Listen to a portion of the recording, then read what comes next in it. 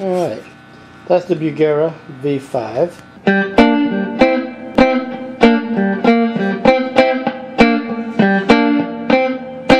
thank you